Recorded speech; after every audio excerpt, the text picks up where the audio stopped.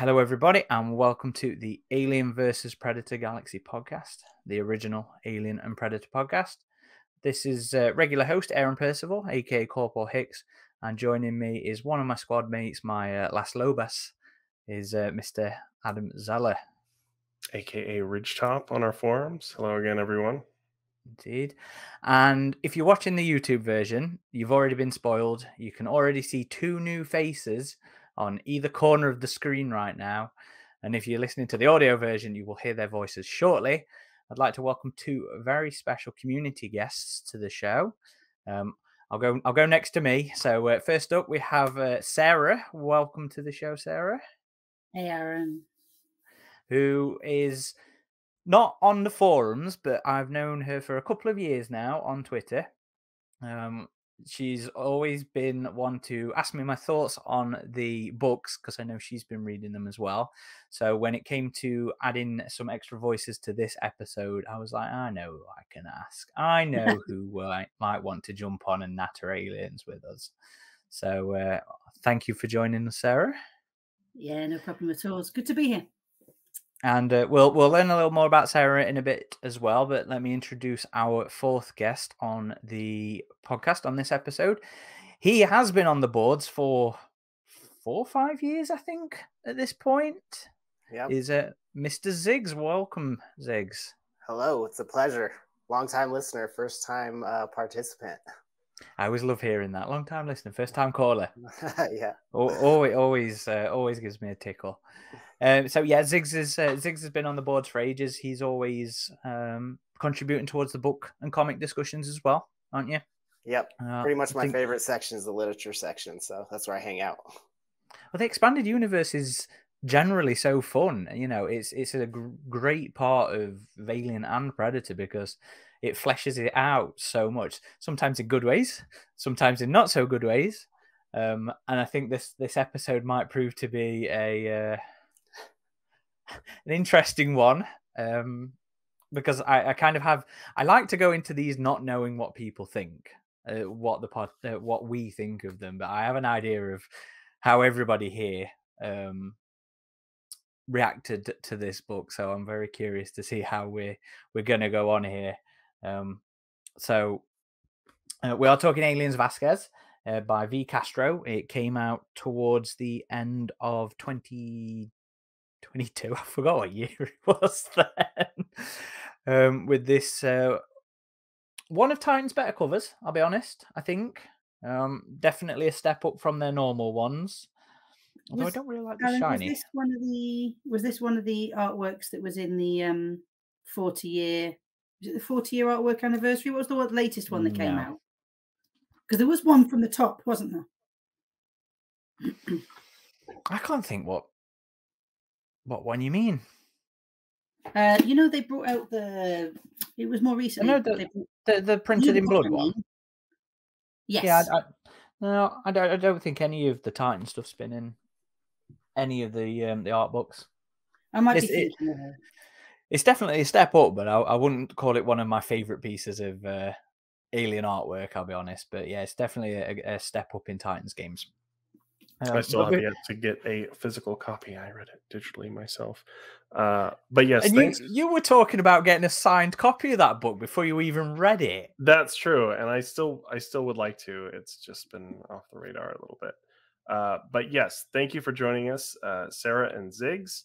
And even though this isn't an interview podcast, uh, a little tradition we like to have whenever we have new guests is uh, talking about the first time you came across our favorite extraterrestrial monster, the alien. So, Sarah, why don't you start off and just let us know how you got started being a fan of Alien?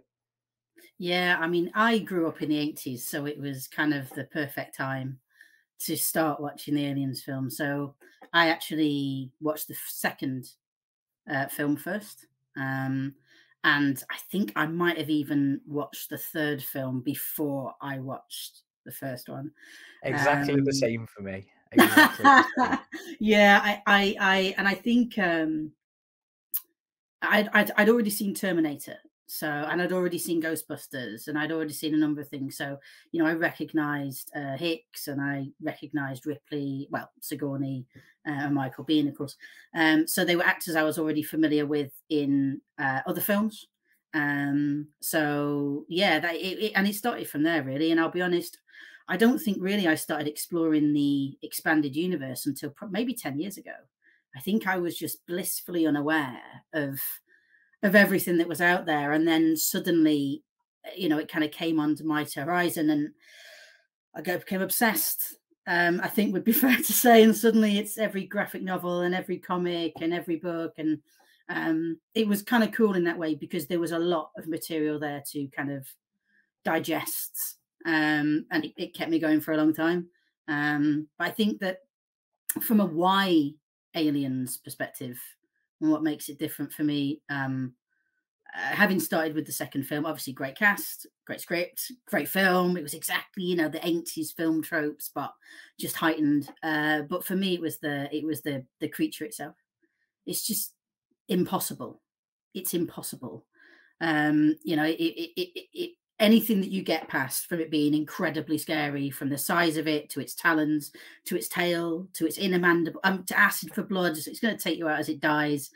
I just never seen anything like it. I don't think there's anything else out there that exists like it, and that probably is what was the biggest pull for me, even with a fantastic heroine such as Ripley. So that's me. Cool. How about you, Ziggs? Um, I think I was probably about. I think it was right when Resurrection came out, so I think I was like maybe nine years old, and I saw like a behind the scenes like making of on I think like Discovery Channel or something like that, and my dad saw me how much I was like, whoa, that's super cool, and so he put on the first Alien for me.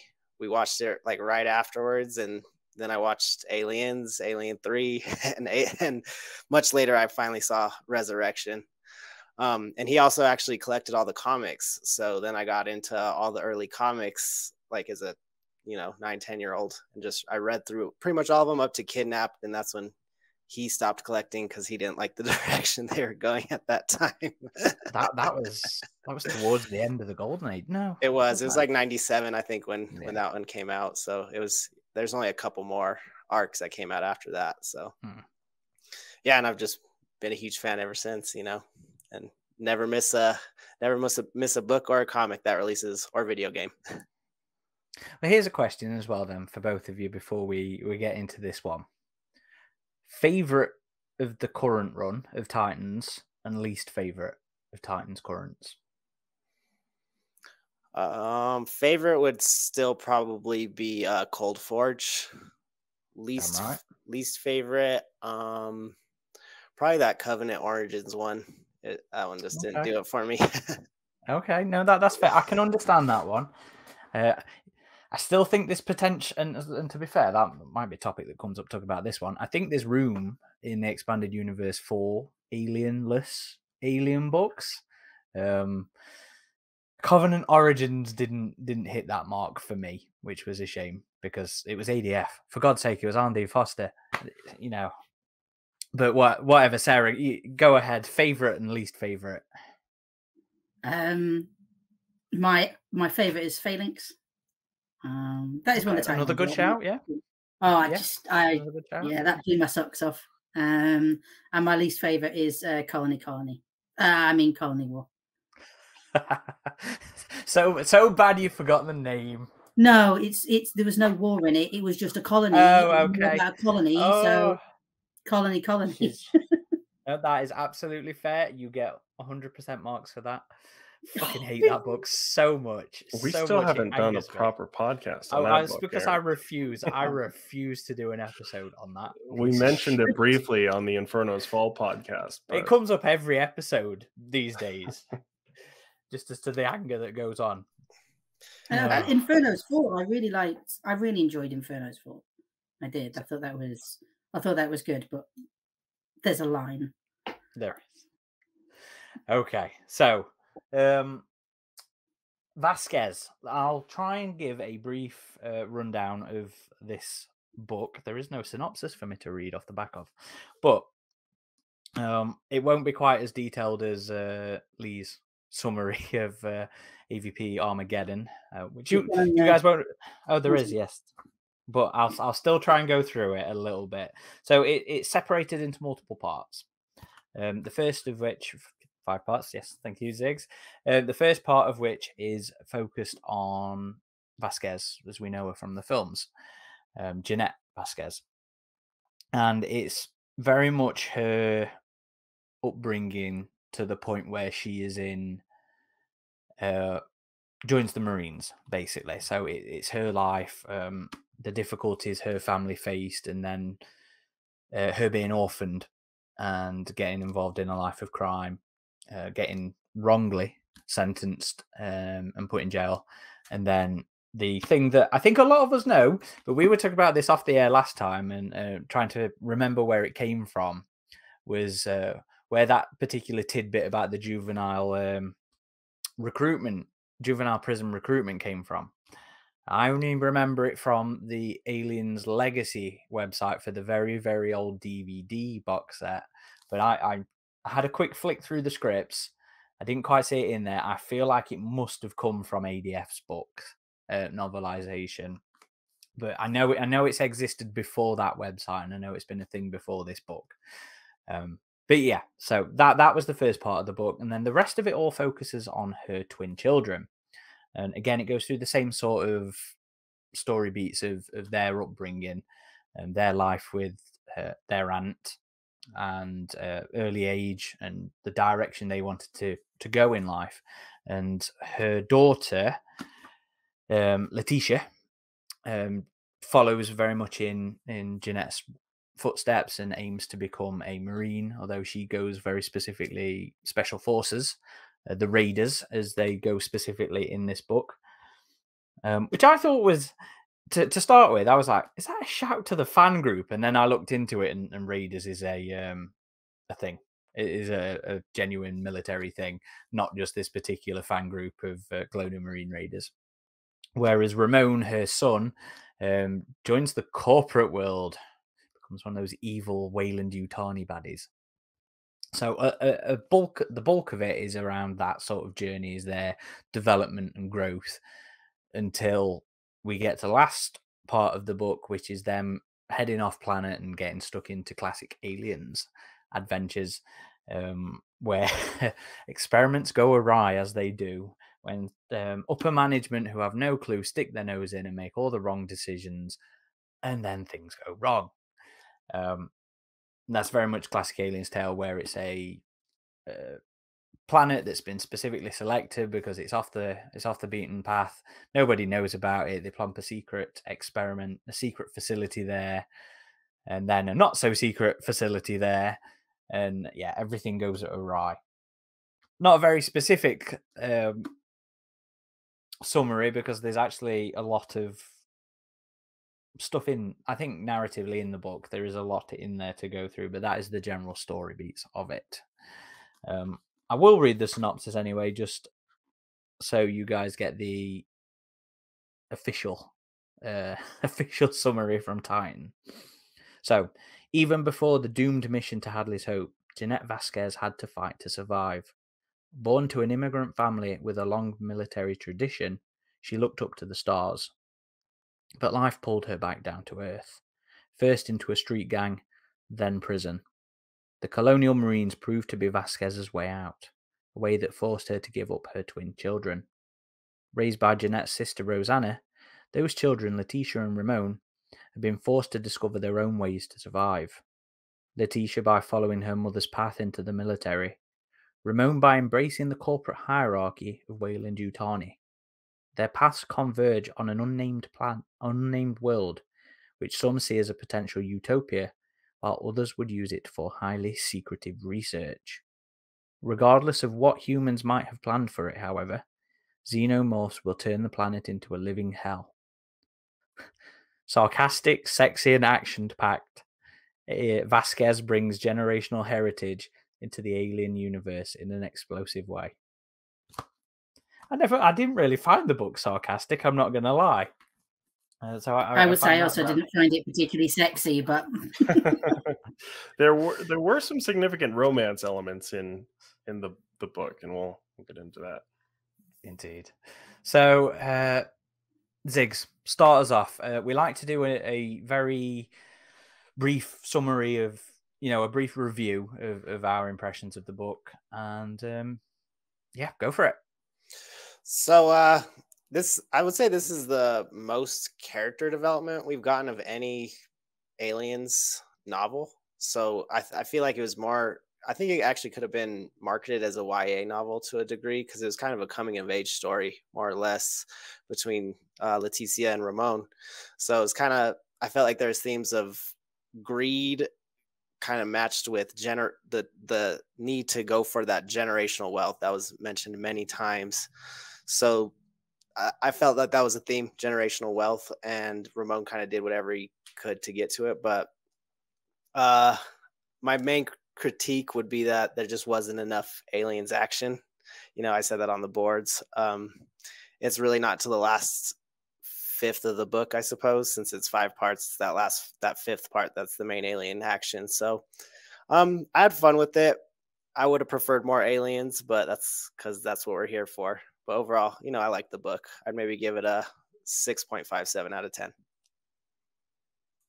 Okay.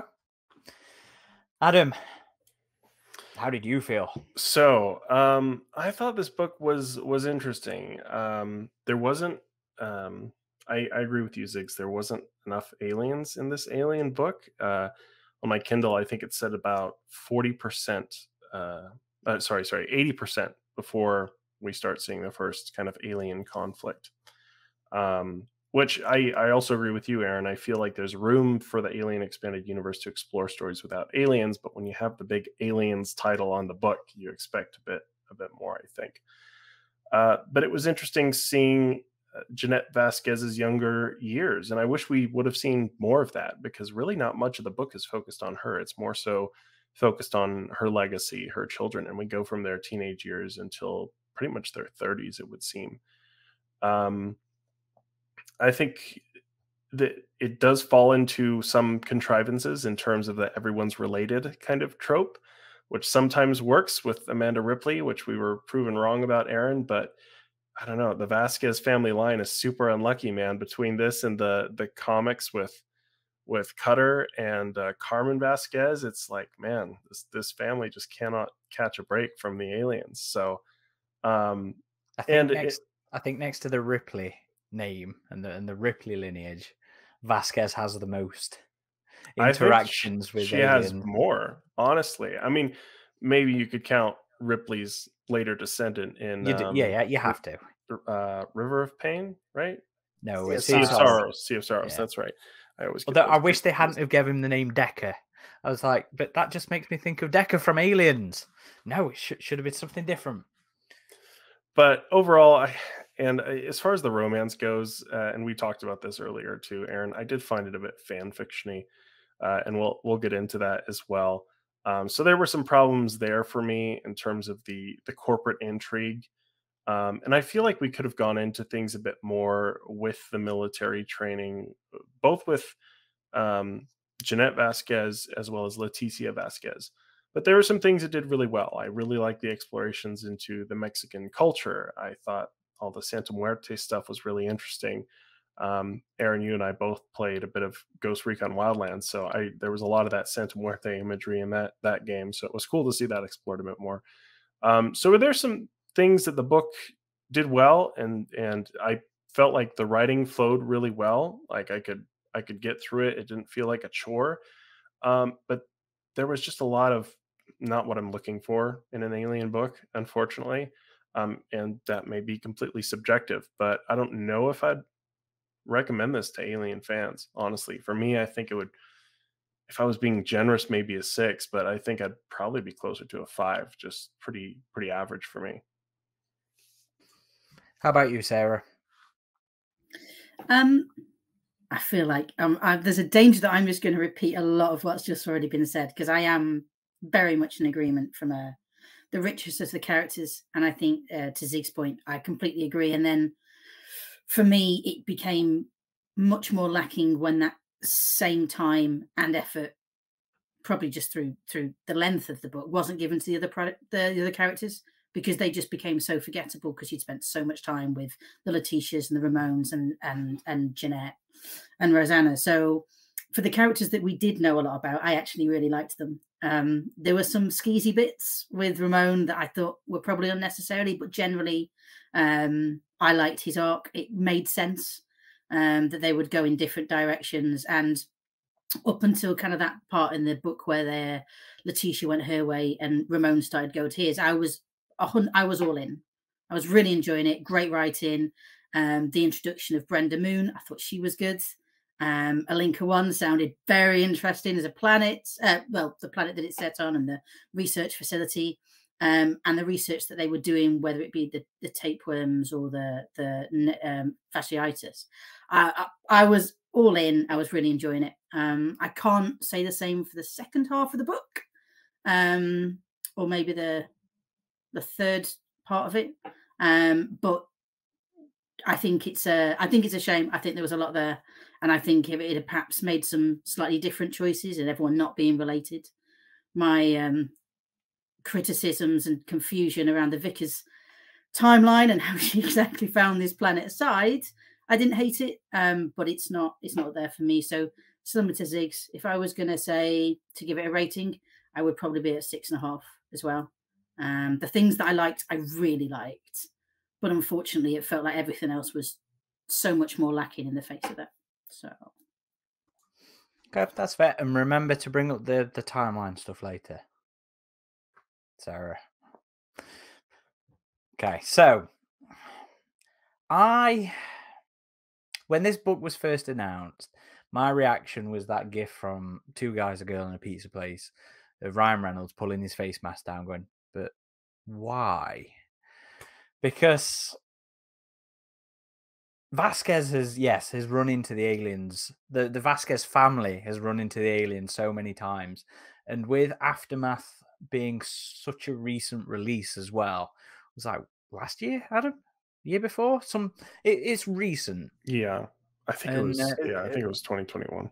It was maybe. the first year that Marvel had the license. They released it within that first year, and Cutter so, was mentioned in the book actually. Yes, um, which I actually I liked that somebody had that they'd mentioned Cutter, and I liked that they mentioned Carmen, who is her younger sister from Aliens Colonial Marines. But those were definitely additions that came about from consultants. I could totally tell that um, because they barely warranted any mention throughout most of this. Although, although uh, Cutter's parents did get a bit more of a focus later on, which was like a very small focus, but it, it was a, fleshed out a bit more in terms of relationships later on, which was nice. But yeah, I was like, the book had to convince me to start with. I went into this one not thinking that it, I was going to really enjoy it. I didn't think I'd enjoy the um, Jeanette's early stuff, and I didn't think I would enjoy another Vasquez uh, family alien feud the book really surprised me because I fucking loved the Jeanette stuff. I really, really enjoyed the first part of this book, detailing Jeanette's uh, background and the events that led to her uh, joining the Colonial Marines. Um, you know, th- there's some issues along the way. Um, I felt like the COVID analogy was maybe a bit too raw, um, or maybe I'm just a bit too sick of having those analogies at the minute. Um, and the problem I have throughout the book, and I think is my main issue with the book, is that it, it always feels contemporary. Never quite feels like a book set in, you know, hundred years into the future. Um, it could it could have done more with that. It could have been more, especially given how the book goes later on, where it's a lot of with both Jeanette and Letitia. It's a lot of boot camp. It's a lot of training. It could have gone a bit more Starship Troopers in that regards, and I'm talking the book, not the film. It could have gone a bit more future feel there.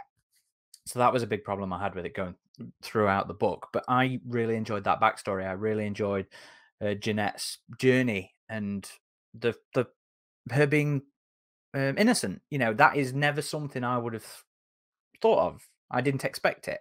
You know, and I looked into it later. You know, uh, she has the tat the the eye drop tattoo, and I think many people, the assumption is that's a tattoo for she's killed somebody. That's a murderer's tattoo, but there's other meanings for it as well, and that is simply incarceration.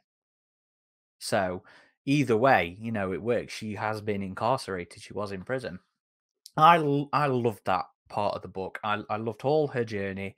Um, it got the reactions from me that it intended. You know, I was genuinely angry when all the stuff was happening to her about um, the forced sterilization and, and giving her kids up and stuff like that. You know, uh, because there is a lot of political commentary in this yeah. book. Police oh, misconduct as well. Yeah, especially early on.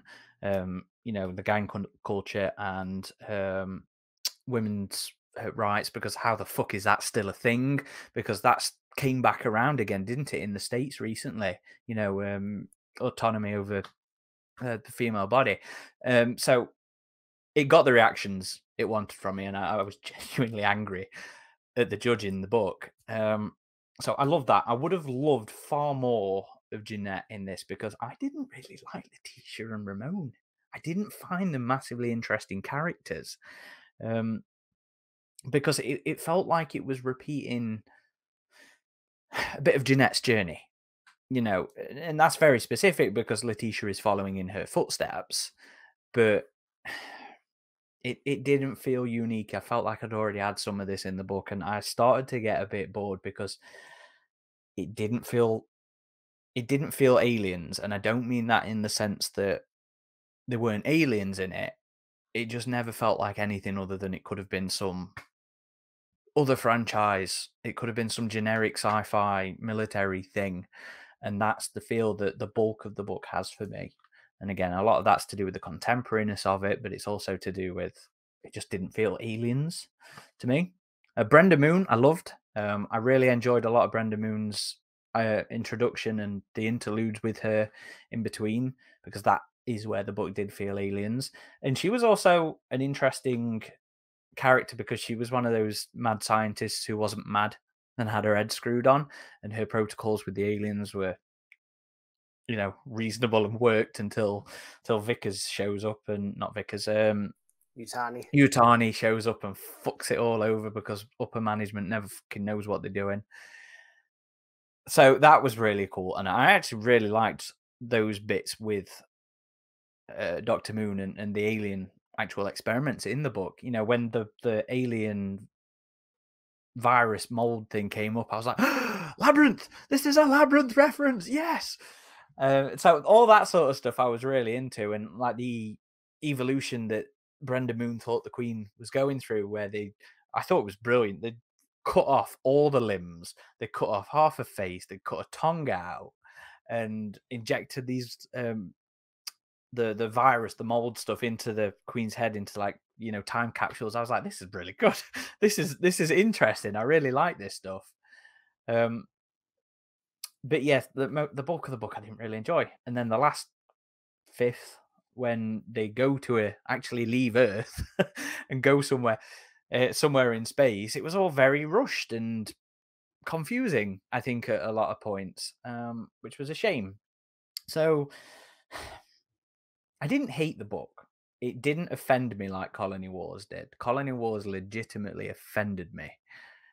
I was just kind of a bit ambivalent towards this one. It, it's one of the ones where it's like, yes, there's things in it that I really like and things I found really interesting, but I would have liked to have them to have been the focus of their own thing.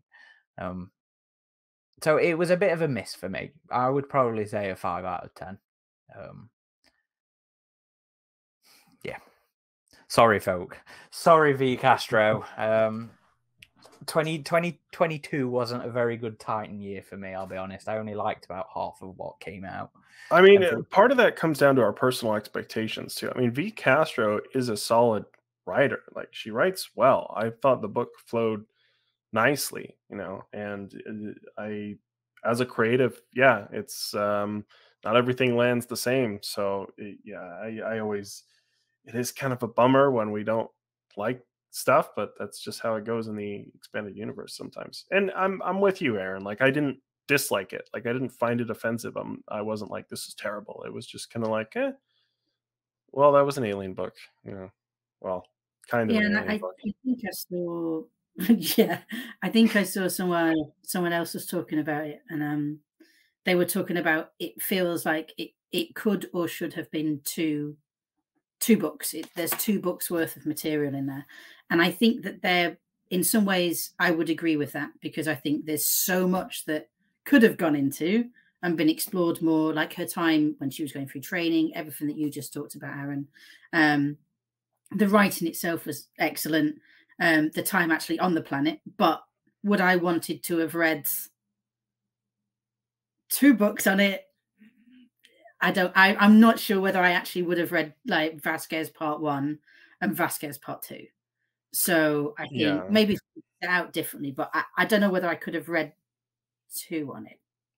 I just think it should have been more focused on Jeanette because mm-hmm. I, I, mm-hmm. agree with you on that as well, Aaron. I thought the beginning part, her incarceration, her life as a youth in this gang group, uh, was really interesting, and her military training was just kind of brushed over rather briefly. And I'm like, Vasquez is a smart gunner. Like, let's talk about that a little bit because there was a whole like part of uh, her pregnancy where she couldn't train and she well she couldn't train physically so she was doing only firearm yeah. training i'm like let's get into that a little bit and that can kind of bring us to this futuristic setting because again you're right aaron this felt very contemporary they were all referencing modern songs a lot That's, of modern social commentary that was the biggest i think part of why the book felt contemporary there was one piece of conceit I think early on, maybe it was was it when they were in the car um, with the gang members where they're talking about old or classic rap music.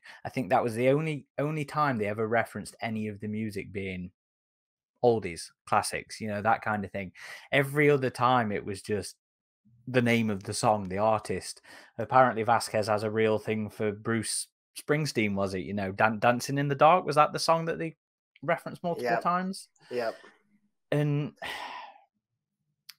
then it's it's things like phones and watches. You know, it, this is going to sound like a real stupid, nitpicky complaint, but that dates that dates it in the terminology of the now. You know, there's there's it's a simple thing. You know, you don't call it a phone. You you call it something different. What the isolation novelization was calling them like oh, I forget, I forget what they were calling it, but they, it was essentially the same idea, but it was it was um, pads or or terminals or something like that. You know, you disguise the the technology in different language to give it a feel of the not now. And yeah, yeah, it's it's gonna. Uh, this is a problem sort of with Alien in general, anyway, yeah, because it's retro. It's retro futurism, and you can still do it. That, We've seen We've seen Ripley with the clunky watch. So they have the smartwatches. Anyway, sorry, Sarah, you were gonna. No, now you see, I thought it was intentional. So maybe I listen. Maybe I missed something completely, but it felt as though um, a lot of the setting of the book early on, obviously before they go onto different planets, a lot of it was felt like it was intentionally timeless, almost.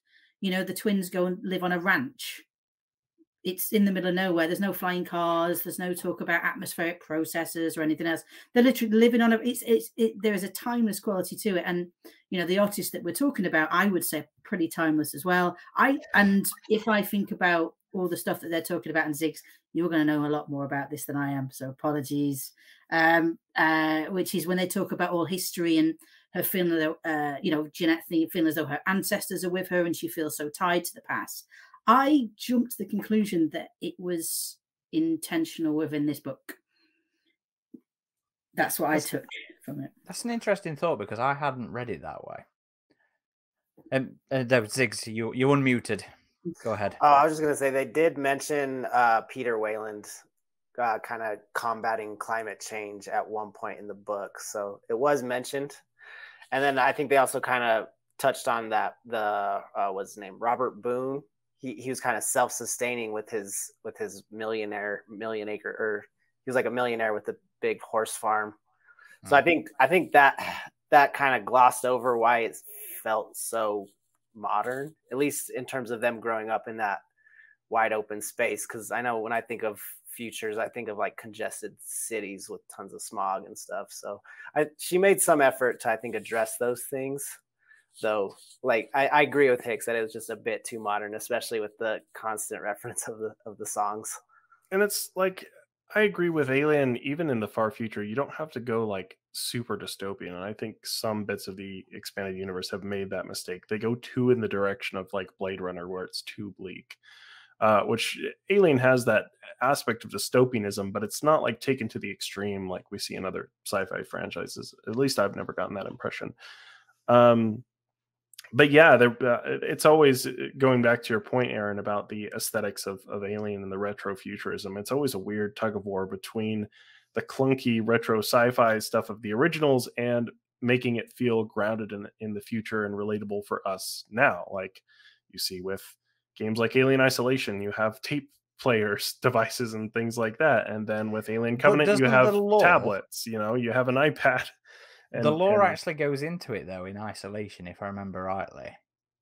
Does it? Just because it's yeah, such to, an to old it, to explain the, no. the RPG they are, oh, okay. Some yeah, it, it, was to explain like the reliability of of some of the retro sort well, the, of technology. The, yeah, the non-hackability. Oh, you can't hack tapes. That's very true. That you know what? That's a great thing about the um, the RPG is is is its intent to reconcile a lot of those disparities around the lore and the franchise and um, the the the story, the overarching stories going off. Anyway, uh, not to diverge, Adam. Sorry, you were saying. Oh, just that it's like I I think I don't know. It's for me. It's the right way to do it is somewhere in the middle. Like we want something that seems futuristic from where we are now. And again, we see that with the Alien prequels, like how much more advanced those ships are. And yeah, you can just be like, well, these are just more advanced ships. And it's like, mm, come on. It's just because it's a sci fi movie that we're making now instead of in the 70s or in the 80s. Um, but you fair, do want to you do want to kind of meet in the middle so it kind of is a bit cohesive in the lore. I do think all the, the prequel stuff can be explained away very nicely because yes, it is a Nostromo was a, a truck, a dirty, beat down, old, worn down truck, and then it's the flagship scientific thing and a um, a yeah, colony ship sent up. Have iPads today, man. Like, I mean, the, there's still lots of beat down vehicles going around. That's true. Um, but yeah, uh, Ziggs was spot on as well. You know, referencing uh, all the climate change stuff. But I, I, I feel like the book would have done a better job of not feeling so contemporary if it had contrasted.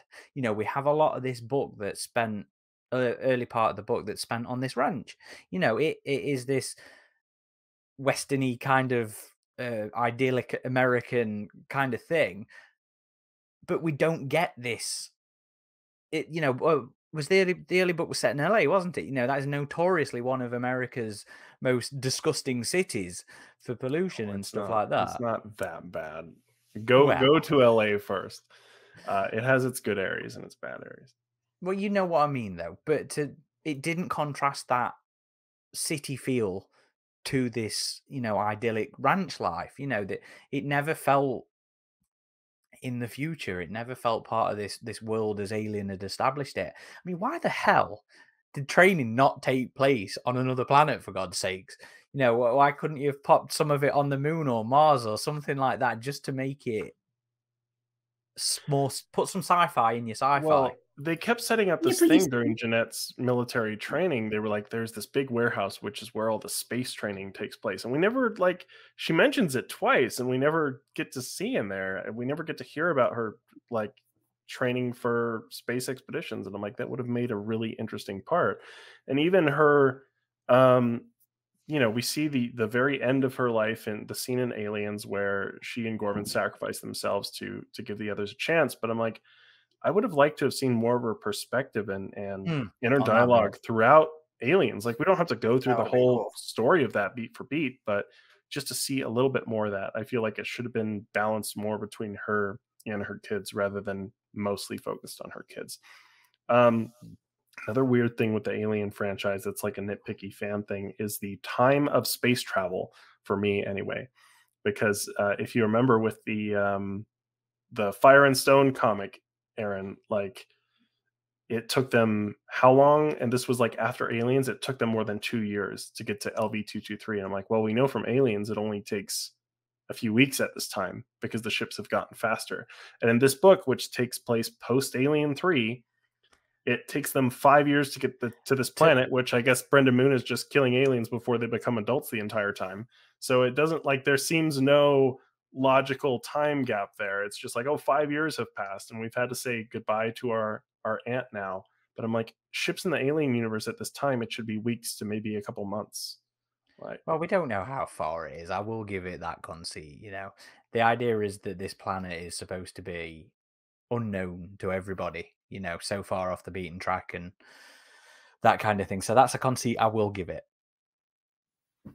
What did yeah, and, I, and I, I, I dated a guy. I dated a guy in university who joined the army and trained to be in the Marines, and spent all of his time in a field in Wales for two years.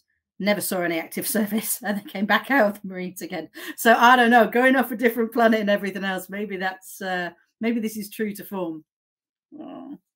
And it's all purely about my complaint of it never feeling aliens or futuristic. I I, I completely own up to that. You know, like even when they're traveling on the ship, we're not really the spaceship is not really described much at all. Like even when the opportunities are right there, like let's nerd out a little bit. Like let's talk about the weaponry. Let's let's do the world building, as you say, Aaron. Yeah, it's just not really gone into. I mean, I get this well, is a character driven story. Yeah. We're focusing was, on was, his family here, but just give us give those fans a little something, you know, that that makes us feel like we're in this world the the book is quite clearly a character book. You know that is where V's interest lies. It is in Ramon. It is in Letitia. It is in Jeanette, and yeah, I understand that. But you know, you are also still in a franchise. You are still in a, a world that you need to get into. So sorry, Ziggs, you you you keep trying to to bring up something here. Go for it. Oh, just the uh because we're talking about like feeling more futuristic with the military. That very first chapter with Jeanette fighting a combat android as like her test to to get into the Marines, I really liked that part. Yeah, that that is like the most futuristic it feels, isn't it? Actually, really, yeah. that was a cool moment. You know, that's something I also want to ask you guys about. Is you know, how did you feel about Jeanette's revised I say revised this version of Jeanette's backstory in here. You know, did you also have that same sort of reaction I did of do I really need this going into it and, and did it work for you? I think I I also experienced that, but I don't know. I, I generally tend to set my expectations low for for any uh EU content.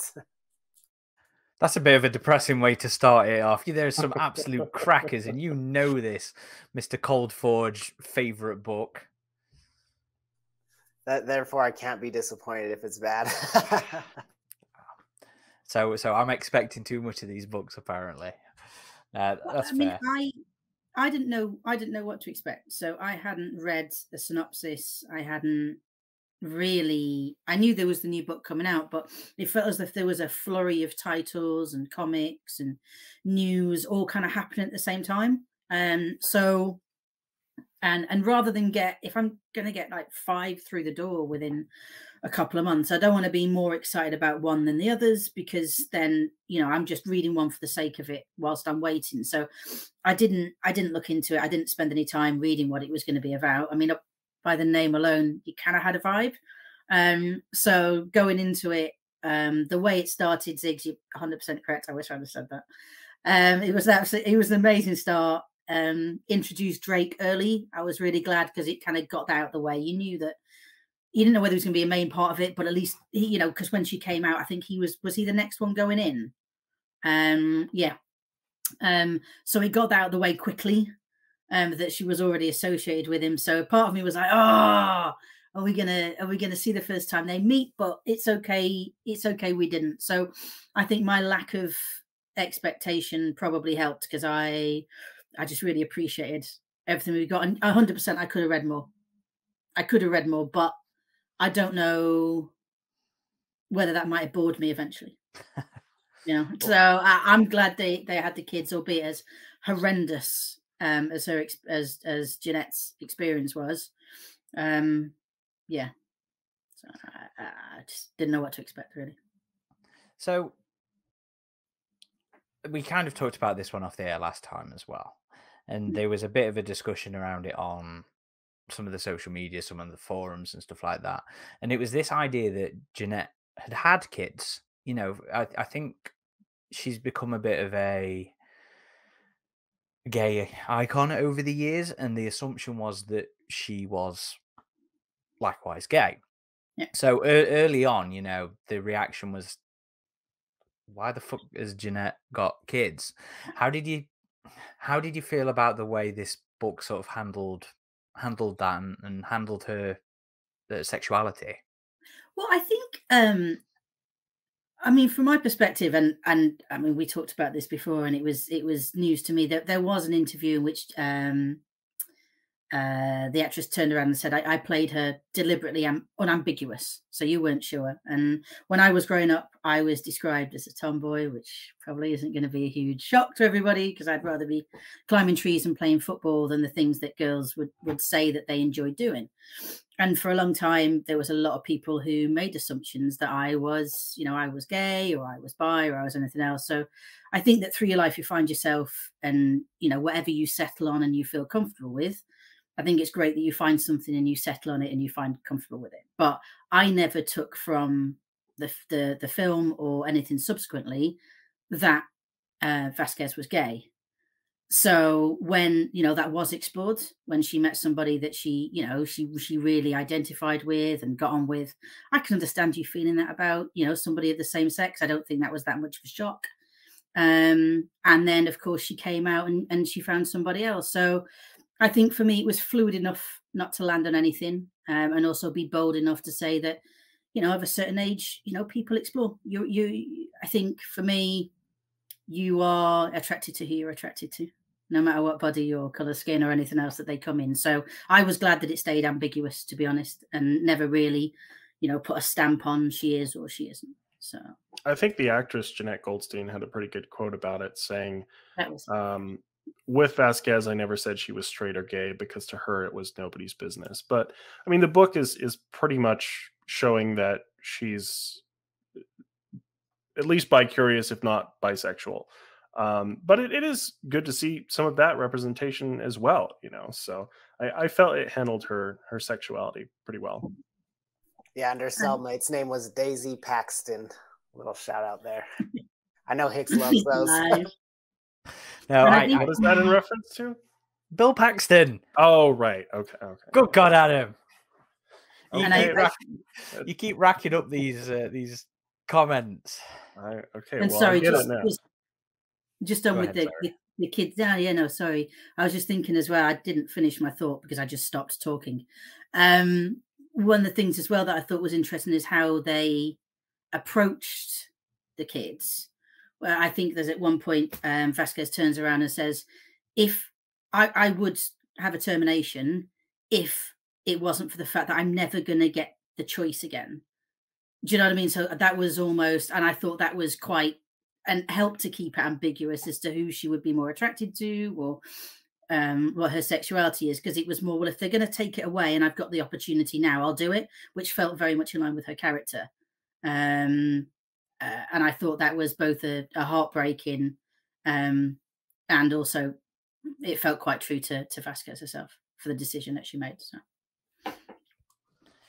See, I I'm one of these ones that always, because of her status as this gay icon, you know, my initial reaction was, "What? I thought she was gay," and but you know the way the book handles it, I really liked. You know, the the the, the fluidity, the the curiousness, and the attraction to who you're attracted to. You know, I thought it worked really well to set up this, you know, the later part of the book and give her these these children that might have been why some of the other law had never really gone that way because they had also focused on the idea that she didn't have children. You know, it was it was a brother's, uh, it was a sister, sorry. You know, and, and then other relations. So I I really liked the way it dealt with it actually, which was very. Um, I thought it felt very natural and I thought it worked very well. And like you said, Sarah, you know that whole bit about God, it really did make me angry that part of the book. You know, the the the forced sterilization, but the the way she responded to it with, if I had the choice in the future, I know what I'd do now because at that time she was very committed to what she was doing. You know, she was committed to being a marine, and obviously recognized that her actions, while on you know you know, you know, she didn't set out to get pregnant, did she? You know, it wasn't no, um, an intentional sabotage of, of her career. And and what made it extra gross was that they also so not only were they going to she obviously she couldn't raise the children. Um, she had to give them away straight away after birth. She was going to be sterilized. They were also taking all of her womb and all of her eggs and sending them off to some scientific research base. I mean, it's just stacking one up after the other. it's horrible. It's awful. V, v really went for it there. And to be fair, the, the, the little story nerd part of me here was also like, is that Thomas Spears kind of set up because of the genetic? Exactly. The, yeah. Which we, I was kind of like, oh, cool. But then it was also like, what? No. How did you guys feel about the the way the social commentary was handled in this one? because like like I said in my Colonial Marines review, not Colonial Marines, Colony Wars review, sci-fi will always be a place for social commentary. It's just part of the fabric of the genre. Colony Wars did it with the subtlety of a brick in the face, and I think some of this was a bit too overt, but in general, how did you guys feel about uh, about the social commentary? Did it did it pull you out? Did it work within the narrative? I'm kind of with you, Aaron, in that I agree that sci-fi is a great place for social commentary. I just felt there was a bit too many things in a row that felt very contemporary. Like we're 180 years into the future. We can explore politics, we can explore social issues for sure, and those can can be relatable to our current times. But when they feel a bit too reflective of our current times, it can kind of pull you out of it a little bit. Yeah, one of the parts I liked was uh, when there was a synthetic as a as a cop, and it was like, "You cannot. I, I have no bias. Do not try to influence my decision." So I thought that was that part was handled well. Yeah, that seems like it was a very deliberate uh, evolution of the earlier part of of the story with Jeanette and how she was very much dealing with one of those the the, the corrupt cops, you know, the the racial bias kind of way that has come out a lot recently, and and to then evolve it with with the synthetic stuff was, uh, I think, a very nice touch, and I think one of those reasonable it felt natural. It felt like a natural flow of that technology, of that purpose, of of that kind of thing. So yeah, I I did think that worked really well. Sarah, any thoughts on that one? I feel as if I'm probably not the best person to give commentary, as I've read a very sheltered and lucky life. Um, uh, but at the same time, I think, um, from my perspective, I think it did it well enough to show that life would never have been easy for Vasquez, if that makes sense, just through the world that we're growing up in, um, the world that's around her, and the same, same kind of stereotypes and limited opportunities that are available to people.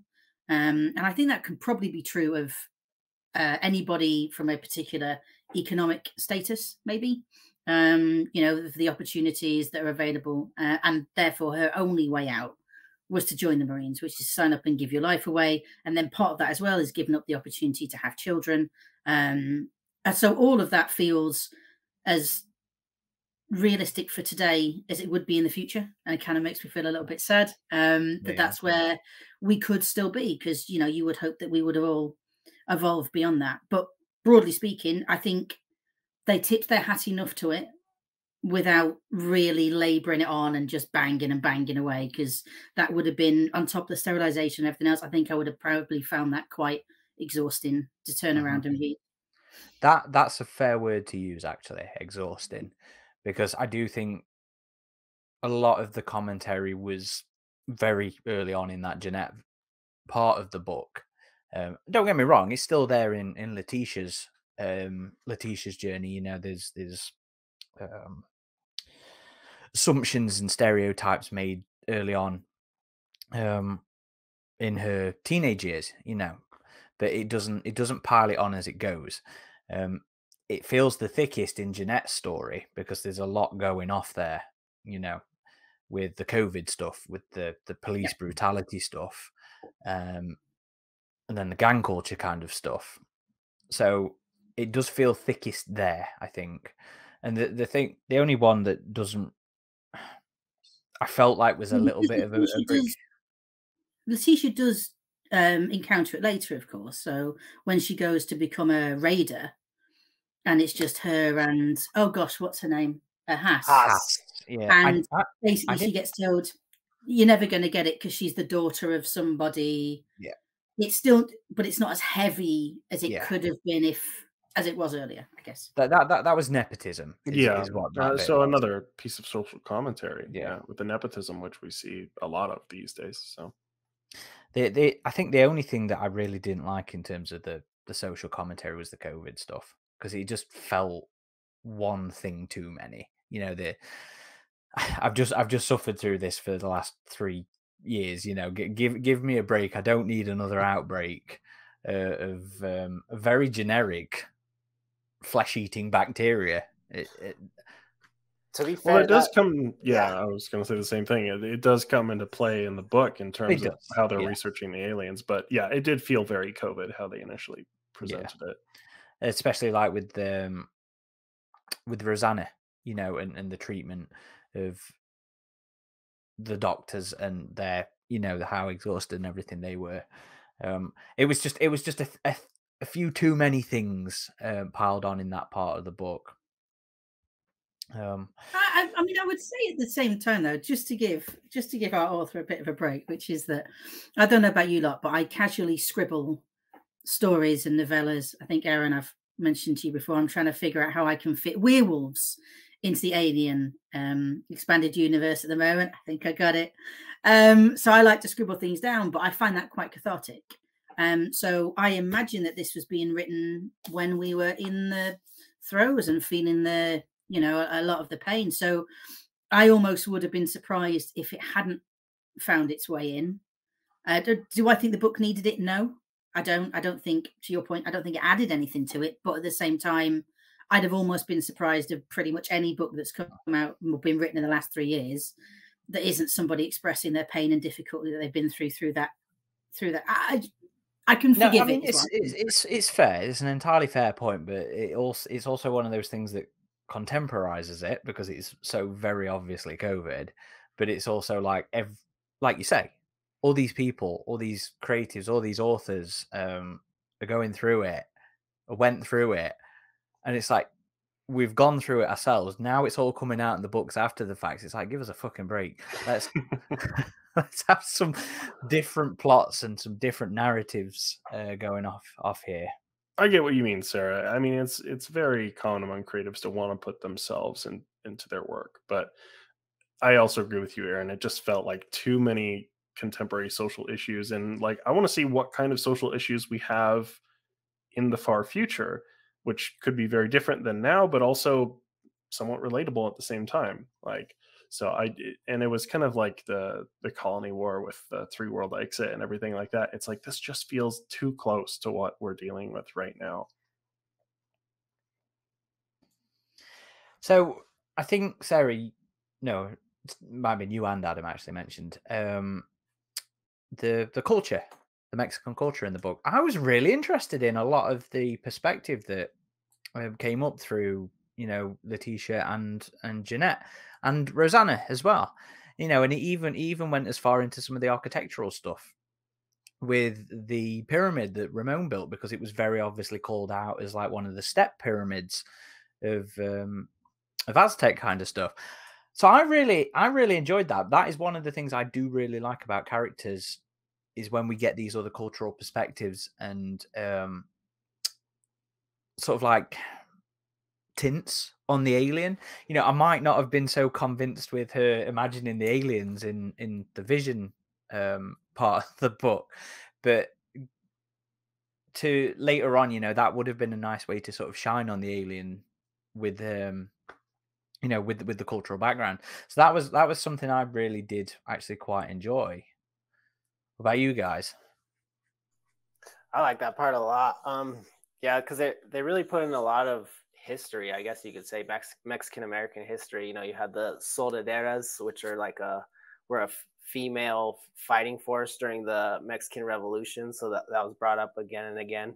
You kind of had Rosanna, and she she was interested in kind of the more what would be, I guess, pagan aspects of Mexican culture, and you know that that happened a long time ago. As you know, Spain brought Catholicism to the to the Americas, and a lot of the indigenous people at that time still tried to keep some of their their beliefs ingrained with the, with the with the new Catholicism beliefs, and that's actually where Santa Muerte kind of comes from. It's kind of a combination of uh, Mother Mary and kind of a Mother Earth Earth or slash Death God, you know.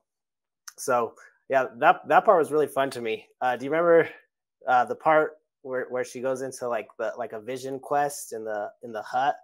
they pretty much describe the AVP pyramid scene, but with engineers. I was thinking the same thing. Yeah, it's like a sweat lodge ceremony kind of thing. Um, but she was in like a full kind of trip, I guess. Like I was like, did they give her something, or is that just she's just sweating that hard that you're seeing things at that point? But I, I agree. I think that was one of the strongest parts of the book was exploring some of the the Mexican culture with both Jeanette and then her sister and raising these these kids uh, and we just see a lot of that through throughout the book and in both um, in both Jeanette's and Leticia's uh, inner dialogue. Uh, less so with Ramon, I think. I think he's more just kind of concerned about power than than cultural things. Although I think he still, at the same time, does have some some um, you know cult- cultural re- reflections. Um, I don't think it was it, it might not have been strictly cultural, but it was family. You know, yeah. it was it was about providing for the Vasquez that came down the line. Um, it was about giving the name um, the same sort of power that Weyland does, or Yutani does, or Vickers does. And it, you know, there was some other name drops in here as well. Um, I'm, I'm going to quiz first. Did did we pick up on these other potential alien name drops, family name drops? Hmm. There, there was a, I think Luke Grant in that. Yep, uh, there's one. Harvard Grant Corporation. What what was his um, Mrs.'s surname though? That's cheating, Ziggs. I see you reaching for the book. She was a Kramer. I was gonna say Come I think it's Kramer. Yeah. From but what's Kramer rifle, right?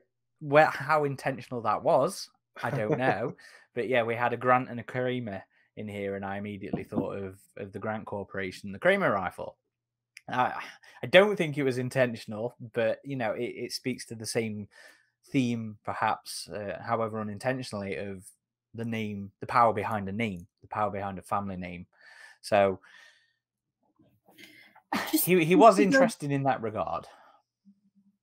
I did find it interesting how Ramon and Leticia, growing up as siblings, they really didn't get along much. But then as they matured, kind of after their college years, Ramon kind of admitted he had not been great with his sister and that he wanted to be better. And um, you see that sometimes with family that initially doesn't get along and then they they kind of realize that and they try and do better and they try and form more solidarity. I've experienced that personally with with my extended family.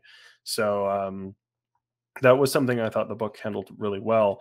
What I think was handled less well was that they were both dating uh, Weyland Yutani family members.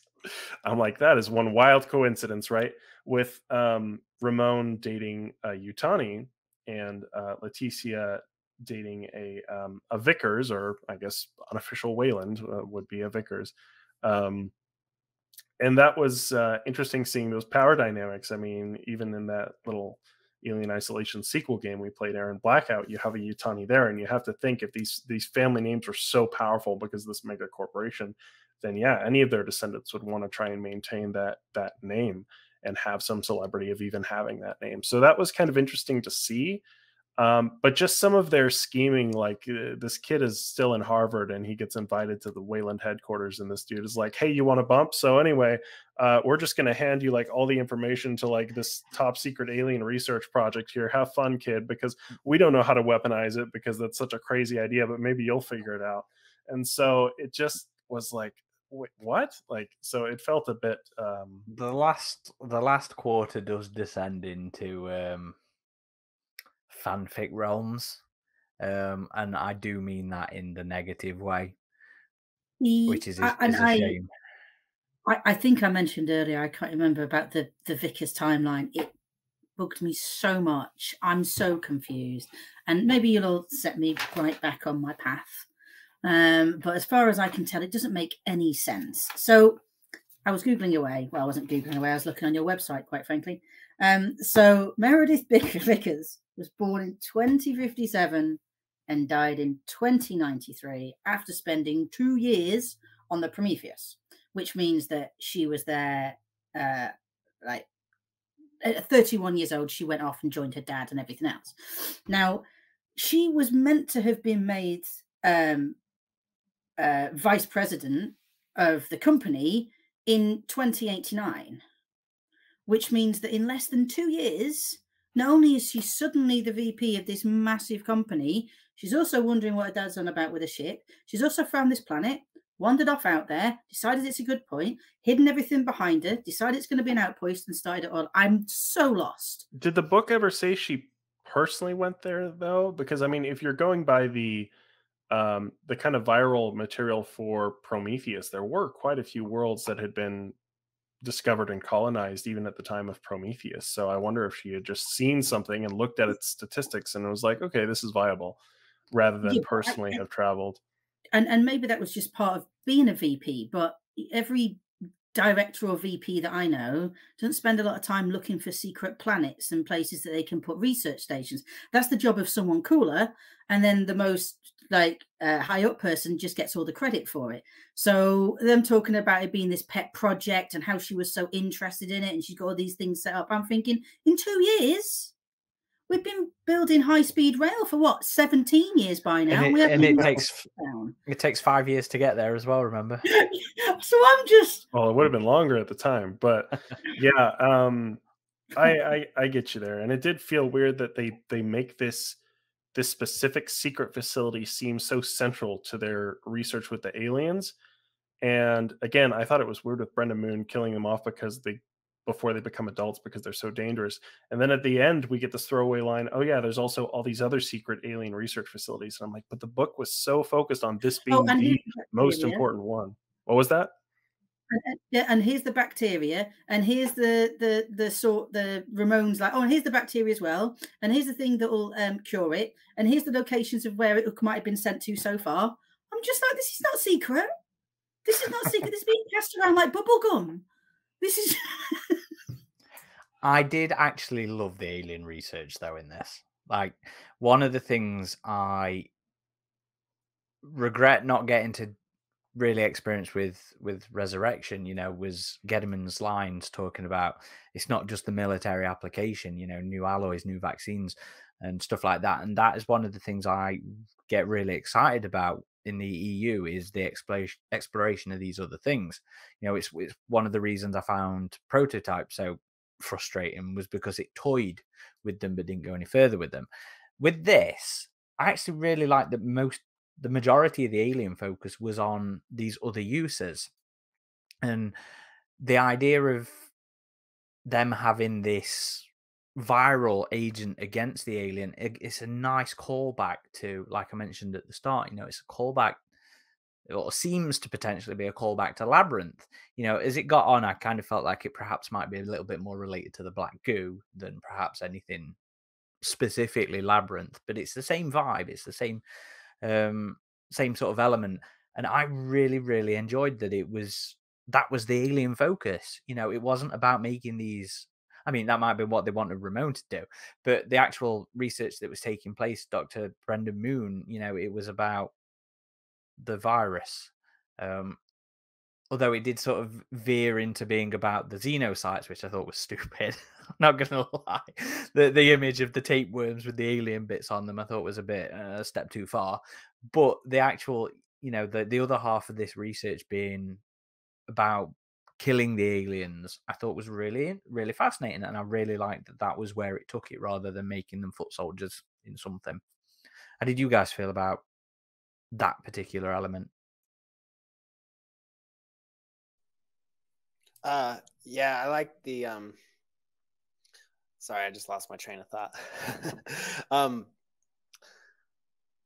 So I like that they were basically looking for ways to find weaknesses in the aliens, like DNA. So they're they're looking to go past its immune system. So I thought I thought that was cool. But yeah, and then the xenocytes infecting waterways, but they had the antidote to basically kill them all off.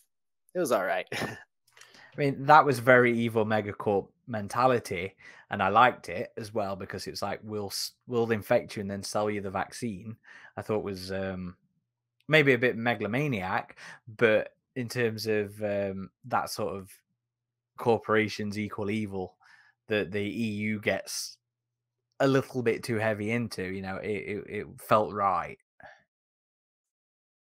I kind of agree with you, Aaron, that I, I I don't like it when they do this like, oh, here's this crazy new little twist, the alien. Like the um it kind of reminded me of those little alien uh what was it, the tubers from Marvel's second volume that yeah, had no yeah. point and made no sense. Yeah, well, exactly. No, and they, they actually said it was like an arthropod hybrid. So it, eh, yeah, the xenocytes reminded me of that also. Yeah. So it's just like you're going to use these parasite xenomorphs to just put in people and smuggle them to different planets. I'm like, okay, what happens then? Do they just chest burst like a normal alien? Like, so I don't know. Well, wasn't that wasn't that the whole point of like the people breaking down thing as well?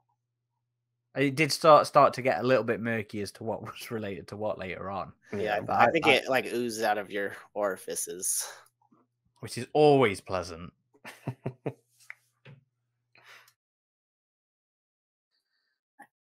what about you, Sarah? How did you feel about the alien think, experimentation yeah, or right, I was just part of this? Clicking on the mute uh, button and being incredibly unsuccessful. Apologies.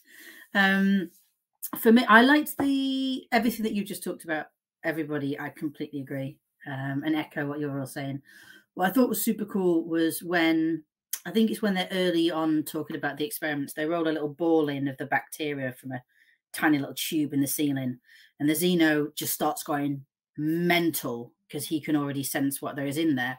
But what I thought was most interesting is when they describe what happens to it. So the blood is no longer acids and that's i can't remember the exact word and this is going to drive me mad but they basically talk about that it's the neutralization of its acid blood that kills it i think? I had to read it again the other day because i was like i'm sure i'm misremembering this but i'm i'm pretty sure that in that part of the book they basically say that that's the way in which it's killing it is because it's congealing and nullifying the acidic properties within its blood which is what kills it because it turns its own blood toxic against it, which I was like, and I missed it the first time round when I read it. And the second time round, I was like, there was something around here that kind of like was just niggling in my brain. And I was like, oh, okay, that explains what's actually happening because sometimes it's a bit, oh, we're going to release this and, you know, people get funny heads or whatever. But I felt as though they actually did a better job of explaining what happened and why it could be so detrimental to the alien that it was exposed to. Six, if you just yeah, read that, if you found it in the book, did you find it? It looks like you might have done. No. Oh, I'll have a look. That that's that's where I think a lot of you know when we're nerding out, we like these details. We like these pseudo scientific kind of um, explorations of these fake creatures and that that's when you know that's when it appeals and and really resonates. So that that's that was a cool moment. Yeah i i really i really enjoyed uh, brenda moon stuff until until yutani showed up and fucked it all up. So uh, that that was that was a fun part of it. And then we had dylan take take him out uh like resurrection style. Dylan was the one who was infected that broke out. Oh yeah. I I don't think I liked the Dylan bit. I think that's when it all sort of started to really fall apart for me because I I had memories of um I had flashbacks, sorry, should I say, to the guys the guy uh, escaping Bionational in book one, you know, and it being a dream because there was no fucking way that was going to happen. So, you know, Brenda Moon had all these really well in place um, security measures that stopped everything. And then this guy fucking basically strolls out of, of, of the, um, the facility. Although that is something I'm interested in, you know, that kind of where they've modified enough that they can kind of interact with the aliens. You know, I always think of it more as when I play with that kind of scenario in my head for things, I think of it, I tend to go for a chest burster being in there. But like the idea of the genetic experimentation um, resulting in it is is an interesting thing. Don't, it doesn't work for me in the book, but it's an element that I would quite happily see explored properly in, in some of the other stuff. You know, we, right. we we can't get that into Charybdis as well. You know, with um with Blue, which is again one of the things I fucking love in that book, but not in here. Not in here. It didn't it didn't really gel for me. Well, I found the I found the bit I was looking for. Okay. Um, so it's uh after it's not long actually after the first like main focus on Jeanette. So they talk about the um, the orb coming in and the xenomorph going crazy. And it says uh, the projectiles sprayed from the orb to pierce the exterior. So it convulsed um, as the bacteria invaded its body. It snapped the air as if it was choking, and then its body fell to the ground. The bacteria caused toxic shock in the xenomorph faster than in humans. It could lie there for hours in a delirium as the microscopic invader took over its system. And then Matey Boy comes along to slice bits off it and then take it away in little vials. And Brenda Moon smiles and says, uh, the bacteria had neutralized the acidic blood of the xenomorph, which had led to its death. So I was like, oh, okay, that makes, I mean, it doesn't make 100% sense, but at least it goes some part of the way of going, it's a bacteria, it's bad for xenomorphs. Off we go. So. And that it kind of reminded me of uh, phalanx to a bit with the with the leaf, the caminus leaf. Yeah, that's a good chat. I hadn't actually thought about that one.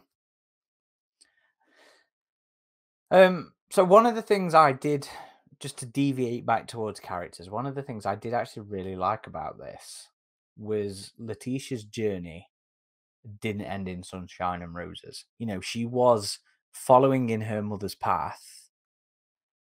And then when she was like fucked over. She, she went, you know, she said, "Right, fuck you then. I'm not. I'm not being a part of this establishment if you're not gonna play by the rules." And I liked the because life doesn't go to plan. You know, life does not work out the way we all might dream it to be. Um, and that realistic part of her character arc really worked very well for me. I was like, yes, this is real, this is mature, I dig it. I really like the camaraderie between her and her fellow raiders as well. And yeah, it was kind of a, a cool curveball seeing her go from being a marine to private military. You know, private military is usually the bad guys in, in these kind of stories, but she convinces a lot of her other fellow marines, uh, some that have already left, like, hey, come come join me in this thing because she's when she's hired, one of the the um, the request she makes is that or requirements is that she needs to be able to to recruit her own team because they had worked so well together in the past um, so yeah I, I thought that was interesting to see her part of Weyland-Yutani's private security force here and it, it, you know during the process she falls in love with the person who hired her which is interesting and and he is kind of also framed for um, everything that goes down here and so they're going to be on the run again after this. So I guess with that, you do have kind of a room for a sequel with that setup. Oh, there was but, def- uh, definitely sat um, left wide open for a sequel. I don't think I'd want one, but it, it, it was there. What about you guys? How did you feel about that character arc, character trajectory for for Leticia?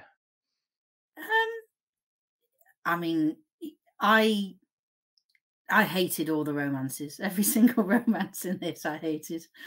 Um, that between everybody, everybody is- apart from if it was is- familiar relationships. Is, is this why you didn't like Echo? Was it too heavy on the romance?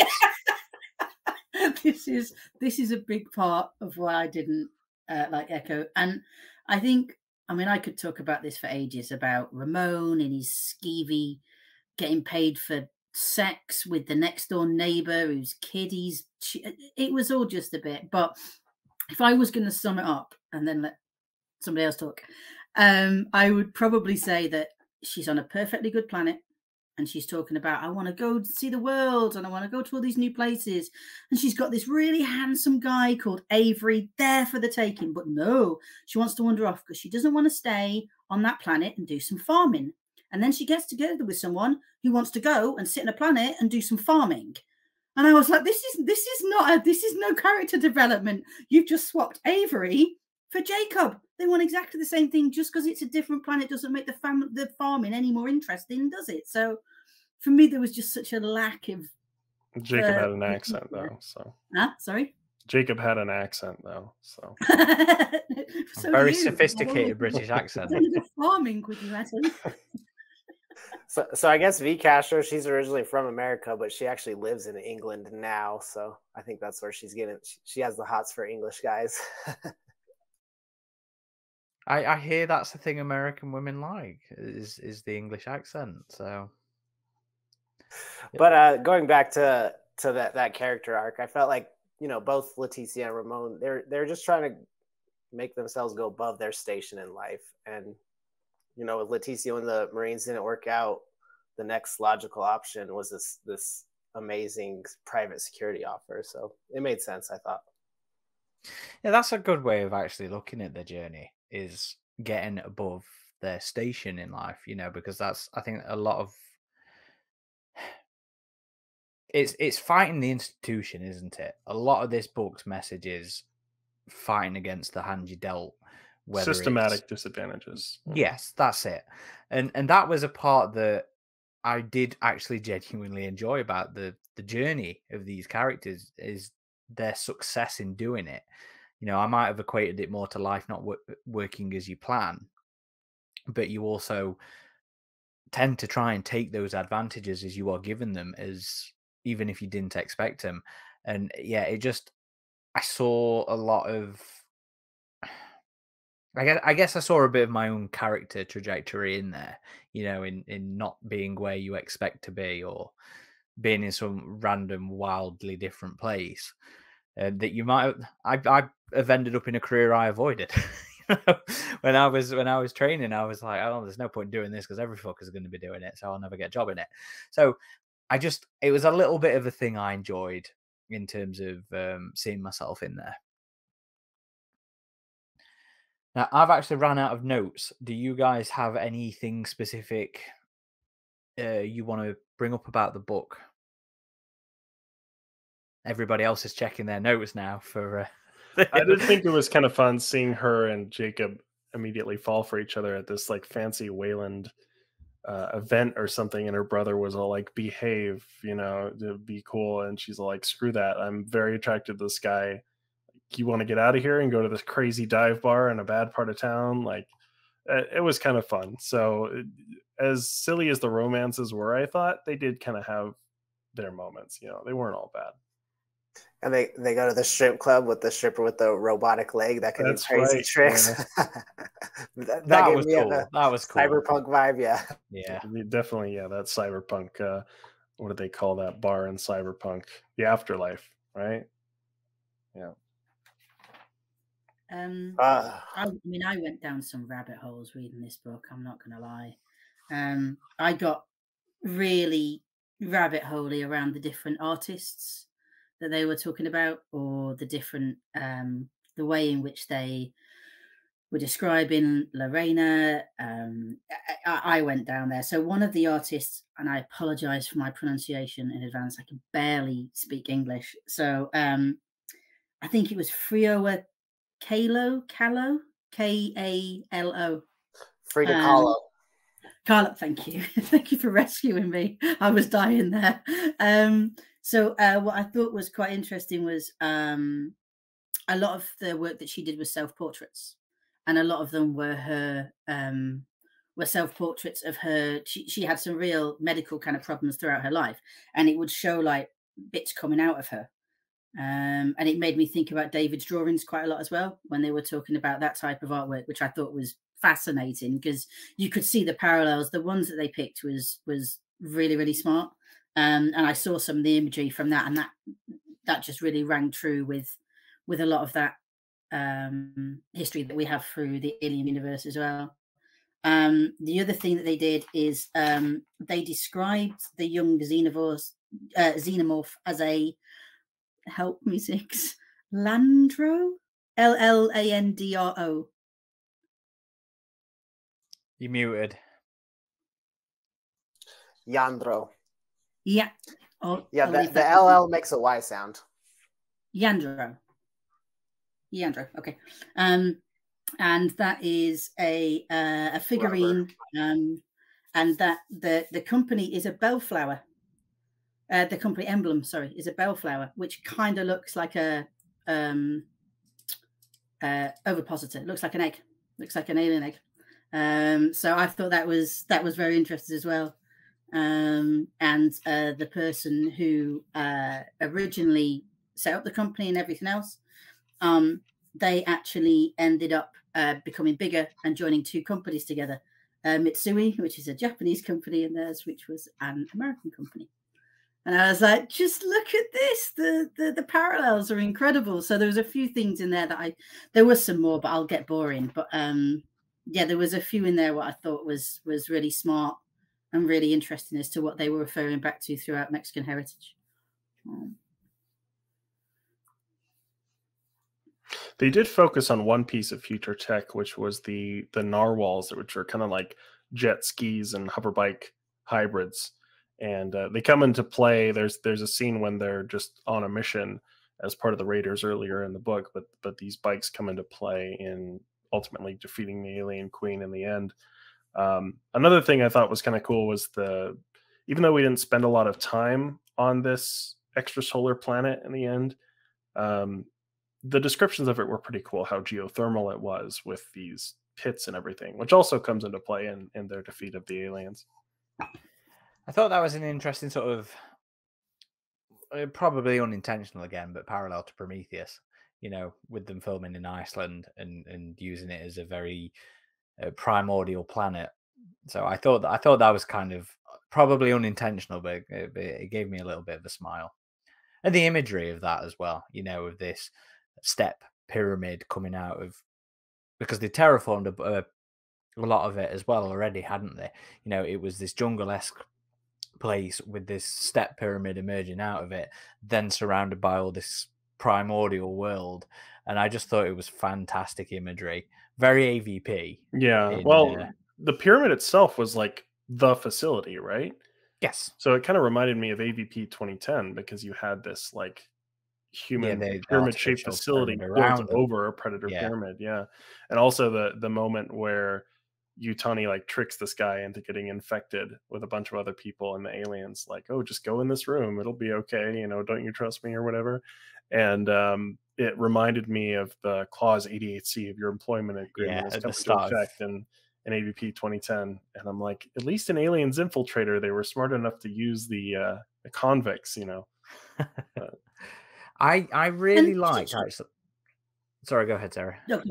No, just to check on on and so in the when they approach the pyramid, because it's quite a it's like every room has got its own super special locked door, and it's quite difficult to kind of traverse the laboratory or or the facility itself without having 25 different keys and everything else. I suppose there were two things that confused me. Um, number one, how are the xenomorphs pretty much outside and just roaming around freely to kill Julia and everything else? I was like, that I know Dylan was just banging buttons left, right, and center, but is that just the cause of it, or was there some other kind of failure? And the second part of it is when Leticia and Ramon um, and all the her Marines and everything are are outside of the complex and they see a dropship coming down and a guy steps out in a lab coat. I got a bit confused about whether that's supposed to be Dylan or whether that's supposed to be somebody else. I got a bit lost as to who it was that had gone into a dropship and had three xenomorphs behind them. That was Dylan. Yeah. Mhm. Okay. But I was I was confused about the the door lock bit as well. I think Ramon had this line like, "Well, if I unlock these doors to get a son, it's going to unlock everything." Yeah, that Um, was very poor writing. I'm not gonna I'm not gonna lie there. That kind of shorthand cheaty dramery kind of setup stuff I think is always very disappointing. But you did it did just make me think of um there is some absolutely wonderful descriptive imagery of the hive where they, they refer to it as like um as like a church of pain and death or so, some words to that effect which I should have written down but I didn't.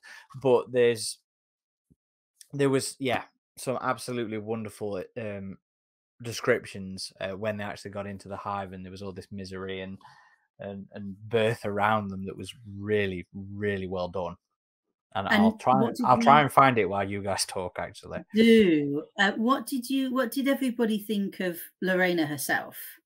Because they said there was three alien queens, two are dead on the floor, and then obviously she had gone some way to heal and work around all the horrible, horrible things that they'd done to her by chopping her arms off, all the stuff you were talking about earlier. Yeah, not only did they sever her limbs to incapacitate her, but they removed like the lower part of her jaw so she couldn't bite. I think she still had her inner jaws. Um, but yeah, Brenda Moon was getting concerned because she was starting to grow back pointed stumps of these appendages, you know, uh, that she could spike people with. But they they embedded these like shells that they could detonate in her crown that would have this bacteria that would kill her instantly but I think those like she formed horns around them or something like that. Um, so it was kind of interesting to see that. Um, again, it just feels like too much of a time jump happened with the five years where they're just like it feels like they're instantly there because Brenda Moon was concerned about this happening with the Queen, and then it feels like we just pick back up right there with that. And yeah, I, I think kind of I kind of feel like the Brenda Moon sections weren't in chronological order. It it seemed because it the first Brenda Moon section came immediately on part two, which would was when you know the kids were born. So I I do I agree with the timeline was kind of shoddy Yeah. there. Maybe I'd have to check the dates again because I know some of the chapters did have the dates, and that was another thing because, and this kind of goes to things being a little disjointed now with the EU. I think this was around the time where the USCM becomes the UACM. If we're going by Fireteam Elite, if we're counting that as actual lore, so I would have it would have been cool to see mention of that, but Um, I think I think one of the, the the things that they talked about as well with La Reina, um, like having evolved. I mean, timelines all aside, like who knows? Could have been twenty years, could have been twenty minutes. Got no clue. Um, but and I'm not quite sure. As you know, I'm not a gamer. So whereas I have the figures um, with the new game, when they have like the prowler alien and the spitter alien and the jumpy alien or whatever they're called, uh, all those different xenomorphs. Um, in this one, they talk about her spitting acidic blood. So her inner mandible has become some kind of barbed tongue type dexterous thing. And she also spits acids or spits blood um, to take people out as well. So I wasn't sure whether that's in line with how the xenomorphs from the game do it, whether there's any lore around that, or whether it's just there's there's always been kind of a difference i think in the games you've always had more of a spitter type of alien and then in the expanded universe um, and of course originally with resurrection actually even with alien 3 you see the, the alien spit at one point um, but yeah in in some parts of the expanded universe it's just some aliens spit acid and it doesn't really explain it or anything but the games have always tried to make it more of like this is a, a its own type of alien Yeah, which is something I've never really liked in games, to be honest, because I think it's a, a an ability that they should all be able to have. You know, we first saw it in Alien Three, um, and it's not very clear at all in in that film, but you know, it was set up as the runner being able to do it, and then of course we see it in Resurrection, and I don't think we see it in any other theatrical setting, do we? i don't think so no Mm. So it's it's always been the, something the I runner think they can all do. Just the runner one aliens my favorite. Oh, the runner aliens are favorite. Yeah, they they were in one of the games AVP 2010. They were called the the jungle aliens, even though they were the runners, and they were the spitters. They spitters. spitters, yeah. Uh, I Oh, can't find oh, the okay. exact. I can't find the exact passage I'm thinking of. But here, here was one that I did like, um, which was when they kill Julia, because she's all hived up and infected and about to burst.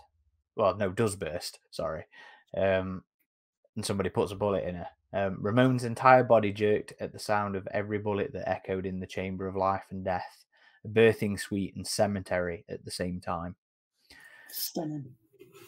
I do like that one. I mean, I, I find V a bit all over the place, to be honest, in terms of the the quality of writing. But moments like that I really liked.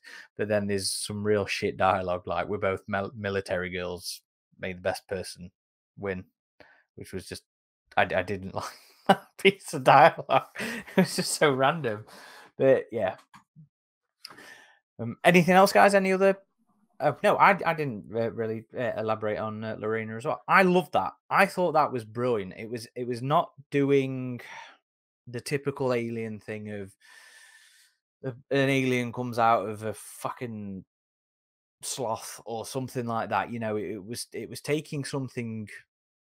It was taking the DNA reflex. It was taking this notion of the alien's adaptability in a different direction, and I thought the idea of her evolving these stumps into weapons of their own, you know, not necessarily regrowing them, which I think Ridley Scott thinks they can do, is is his interpretation of. Um, it was a deleted scene in Alien, you know, where it would have lost. Um, I think it was his tail, and it would have grown back. And then um, in Covenant, in the commentary, he said that the alien that got split in two would just grow back again. Um, but no, it, it was a, a, a more reasonable and realistic um, direction to take the adapt- adaptability of the alien, and I thought it really worked. And you know, some of this idea of this hive xenomorph, oh, I just said xenomorph, um, alien sort of chitin kind of way uh, of these arm spikes was was really interesting. It actually gave me vibes of. Um, You don't like the xenomorph term either? I thought you just didn't like Gotcha. I, I like XX. I prefer to think of it as Xenomorph XX121. I like it as a generic term for aliens that they discover. Um, it reminded me of some artwork from AVP. There was another company, and I can't remember the name. They pitched some wildly different takes on the alien and um, the the life cycle and, and the creatures, and uh, it's gonna annoy the shit Oh, out I know what now. you're talking about. I think that was wasn't that uh, Patrick Tatopoulos? that did Yes, that artwork? was it. It was, it was and it top had the queen on these like little spike appendages. I know what you're talking Yeah. about. Some of that earlier AVP art. So that that was what I got sort of vibes of in um, in my imagination uh, while picturing uh, La Reina. There's one real cool scene. It was basically Muhammad Zessing. They're getting chased by face huggers, and he's shooting a flamethrower. And then one of the queen basically stabs him with its two stump hands, barb stumps hands, and squeezes and stabs him at the same time. I, I thought all the marine death scenes were pretty pretty good and well written. Yeah, there was there was there was some good deaths in this. To say most of it was um, not really that that focused on that kind of uh, element of the sci-fi, but when it when it got there, I, I, I enjoyed it. Yeah, Yeah, it was just a bit too brief, like we have already stated. yeah, and I and I think that for me, the just on the the other Marines, I don't think we've talked about them pretty much at all, and I think that's likely just because they were so flipping forgettable. I thought they were kind of like I don't know. I I kind of liked them as a team. Um, it was interesting because two of them were in a, a relationship together, Nathan and Mohammed. Muhammad, I think. So it was interesting to see that in the same squad. Um, that's generally discouraged, I believe. I think they they mention that too, but I don't know. That's another one of those things I could chop chalk up to like, oh, it's in the the future. Maybe they've relaxed on that, and I guess it's the same thing with um, Leticia and Jacob. Like he's her employer. Like, Yeah, but is I mean, but they also make that point. They're like, well, you can't really control you know people's desires in in that way. So Well, I, th- I think it's always been they encouraged the the carnal act, not necessarily the emotional. And it it wasn't Patrick Tatopoulos, Adam. It was Constantine Sekeris. oh, okay. Patrick uh, Yeah. Did do art for AVP though. He did. I think he did some of the pitch. No, that was Phil Norwood. He did do. He did do some of the artwork on on AVP. But yeah, the the spiked appendage um, artwork was um, Constantine Sekeris. Worked on a lot of a lot of the films actually. I think he worked on the Predator and Predators and both AVPs and Prey. Sorry. Anything else, guys? I think even though we've all kind of been like middling to lukewarm about this, I'd say, um, yeah, eh, I guess I'd just say if if you're just looking for an aliens action book, I don't know if I'd recommend it, but if you particularly like the character of Jeanette Vasquez, even though this focuses more on our children than her, I think it's I think it's worth a read. Um, I just feel like unfortunately there were a number of things in terms of the world building aspects and in terms of the the conflict with the xenomorph and the focus I would have liked to have been more on on Jeanette Vasquez, but Mm-hmm. it's again it's not bad. It's it's worth a read, depending on what you're looking for. I I I like I don't see myself revisiting this. Like I, I really enjoyed the Jeanette Vasquez part of it. I wanted more of that. I didn't really I didn't really get on with Leticia or Ramon. I was I was more interested in Jeanette. I I also wouldn't be interested in seeing them come back. I'd like to see some of the themes and concepts again revisited, but not necessarily these guys. Um, yeah, it, I found it middling. I, I probably won't revisit this one for a long time. Any final thoughts, uh, Ziggs? Um, like you guys had mentioned, they do kind of leave it open for a sequel with the with the mention of having access to all these different labs where they're doing xeno research. So, if there were to be a sequel, I would just hope that it's much more alien centric. And you know, now now that we've got all the character development out of the way, we could just focus on the fun stuff, as far as I'm concerned. Sarah? Yeah, I mean, would I read it again? Sure. I actually think I would, and I think the main reason is that um, even though I've read it twice, um, the probably the last third of the book, I I don't really remember that well, if that makes sense. So maybe it just needs to be a bit of time to go by, and then I can. Uh, now I know what to expect from the book. That I might pay a bit more attention towards the end. So I would read it again. Um, however, I think I've got three books on the bookcase that are new and I haven't read yet, and I would definitely read first. But I could imagine the next six months, I'll probably read this again.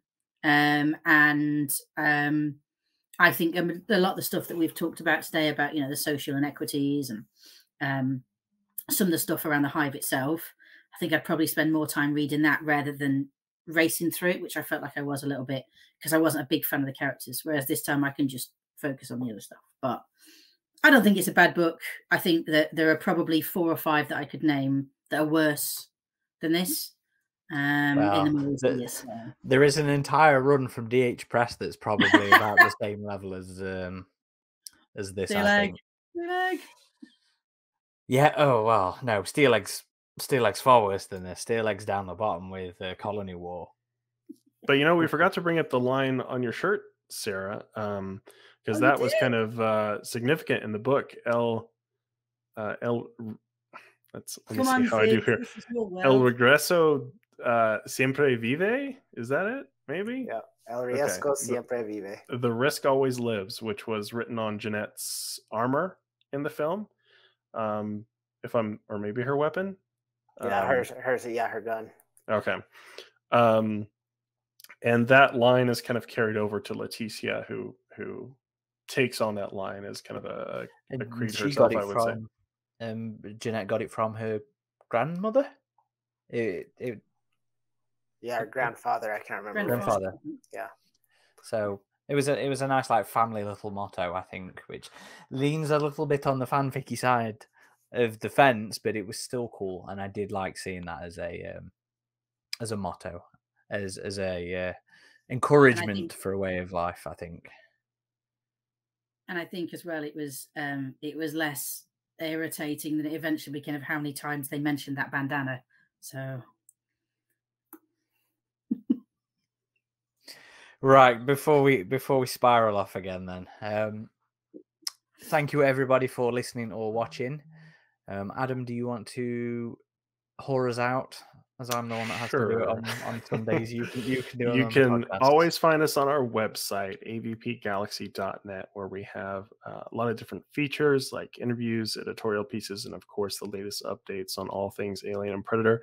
Also, old school message boards where you can talk to us and other fans. And you can also find us on all the major social channels Facebook, Twitter, Instagram, and of course, YouTube. So if you'd like to watch these podcasts, uh, we, we have the video versions on YouTube. Uh, Sarah, do you want to people to follow you on Twitter, or would you rather them not? Absolutely not. I am the least interest in uh, least interesting person on Twitter. So so don't look for me there. It's it's a boring place to be. Read Vasquez instead. Much more interesting. Ziggs, do you have any place uh, you want to direct vote to?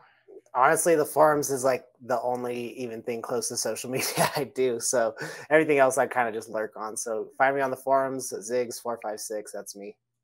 Mostly in the the literature board. Yes. Um, you can find me on Twitter, uh, only Twitter at underscore Corporal Hicks, and that's Alien, Predator, all the nerdy kind of uh, other stuff I'm into. Um, when I'm feeling sociable, I'm going through a non-sociable phase at the minute. I'll be honest. But If you'd like to follow me personally, it's just at Ridgetop21 on both Twitter and Instagram. Before we sign off, a uh, bit of just news on the, the Titan books front, I guess. So the most recent Titan book, um, Alien Enemy of My Enemy, just released digitally. It still hasn't released physically, interestingly enough. But I think only it's in a the states. I've got a copy on my Oh, shelf. okay, okay. Yeah, in the states it Just comes out States. this well this week That's while we're recording. So there are no other new Alien books planned at the moment. However, I think I saw in our forums it was just announced There's they're another doing another trilogy pack. Interestingly enough, uh, Cold Forge prototype and then Inferno's Fall, which I wouldn't have grouped No. prototype with those Charybdis. two. Charybdis. oh, right, right, into Charybdis. That's right. So the two Alex White ones and then prototype. which is a weird pack. I mean, I, I actually quite I liked Prototype. I thought it was a solid read, but I don't see how it really fits in between those two. But maybe maybe that was release order. I can't quite remember. Yeah, it was. There we go then. So maybe not thematically all relevant to each other, but that's the that's the publishing order, and it's a good one. I think that's a good collection to recommend to people because uh, the Cold Forge and Into Charybdis are damn fine alien novels that will make that one an easy one to say. You know, if you've got a buddy, if you see people on Reddit, Facebook, whatever, asking about books to get into, um, there's some very convenient omnibuses now. Um, the, that's the gonna be a Shadow trilogy. And book, man. That's gonna be like that's gonna be But- like that thick. I picked up. Well, yeah, oh god, yeah, because Charybdis is giant. Charybdis is like 450 pages, and Cold Forge isn't short either. Like, Well, Cold Forge was just typical sort of length, but yeah, Charybdis is one of the longest alien novels. Damn. Still a recommended book, uh, omnibus though. But yeah, that's Oh, cool. I- my mistake. Phalanx came out before Charybdis, so Ah, but Phalanx is branded aliens, not alien. wow. uh, it's AVP now. Only the one specific short is AVP. Well, it's aliens versus predators. It's an entirely different branding, Adam. Well, I wonder, like, yeah, I, that seems to be the new AVP branding. Like, if Marvel ever launches those comics, if it'll be aliens versus predators. I think that's just a very specific time thing. It's a shame there's no new books announced at the minute, but Enemy of My Enemy is up there. I'm hopeful. I'm hopeful I'm gonna fucking love it because I did really enjoy Inferno's Fall. I'd like um I'd like the next one to be to be solid as well. We'll see. We Come on, Mary need to- Giovanni. We Come still on. need to get through Rift War because you know I like is- my AVP. The only alien book I've not been able to get through. Have you read it, Ziggs? yeah. Oh, was Mm. honestly Rift War made Vasquez better for me. Let's just put it that way. Oh man, it does not fill Which- me with hope. which is a huge shame because it's co-written by Yvonne Navarro, who did um, Music of the Spears, which is one of my favorite Alien books, and uh, some of the good shorts. In the recent um, omnibus, not omnibus, anthology. But it, it was also co-written by her husband, who wrote fucking Prototype, and you know how much No, I it- hate Infiltrator. Infiltrator. Yes, sorry, not Prototype. Um, and you know how much I fucking hate that. I, I hated it much less than you. I think I was kinder to that one. I just Um, like the character Honecker just got such a visceral reaction from me. I don't think I've ever hated a fictional character as much as I hate Honecker in that book. but I think you're right, Aaron. I think it's been a rough past year for Titan. So uh, hopefully we get some new announcements and hopefully they can bring it back a little bit. I'm just thankful the I mean, one- anthologies one- turned out good.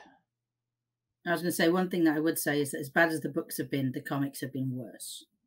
So The last one they wasn't too bad. Little win. The third arc wasn't too bad. Uh, I think we have a review of that we recently recorded, Aaron. But Yeah, that, that's in the bank to edit at the minute. Or is it? So, yeah. Although I, I have picked up the first issue of the new Predator arc today and I've read it through. I liked it. I thought it was off to a good start. Although it, it did end the way I hoped it wouldn't end. That was very stereotypical and I, I think doubling down on some of the come with me if you want to live. Well, uh, the whole the whole issue, I was waiting for Theta to show up and save them, um, and then through most of the issue, it's like, yep, the fucking predators are on it. They're actually they're actually being you know deadly. Maybe they've taken on some of the criticism, and then I was like, just please don't make Theta show up, kill the guy, and um, end it that and, and go from that way. And that is exactly how that issue ends, with the predator's face blowing up and Theta doing Arnie's "Come with me if you Spoilers, want to spoilers. live." It, well, it'll be long out by the time this episode. That's out, true. Yeah, good point. But anyway, we digress already, as we always do. But yeah, thank you, um, Sarah. Thank you, Ziggs, um, for coming to join us and Yeah, talk thanks. about. It's nice to have some other voices on this show other than just me and Adam. Um, so it's very much appreciated. Um, everybody out there, um, if you've got any comments, uh, you want to uh, drop us any feedback, you know, you can email us at uh, podcast at avpgalaxy.net. You can always comment on the video, on the forums, on the social posts. And if you are listening to this on a place like iTunes that allows um, reviews, please do because it helps our visibility and all the bloody algorithms and all that sort of stuff. The more we commented on, the more we reviewed. Same for YouTube. You know, it just helps other fans find us. And if you know uh, other people out there who might be interested in in hearing our thoughts or hearing some of our other, you know, uh, interview episodes, uh, please do share us with those guys and uh, help us, you know, help us reach more fans. This has been Corporal Hicks. Ridgetop. Ziggs. Sarah. signing off. Although maybe I should start to think of thematic uh, ends for these as well as uh, the intros that I'm going for at the minute. But thank you, everybody.